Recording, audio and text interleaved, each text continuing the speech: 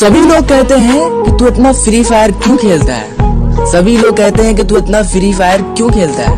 तो सुन मेरे भाई माना कि फ्री फायर ज्यादा खेलना बहुत गंदी बात है लेकिन इसी फ्री फायर ने मुझे हंसना सिखाया है दोस्तों से करीब रहना सिखाया है सबसे अच्छी बात है घर में रहना सिखाया है जिससे अपने माँ के करीब रहता हूँ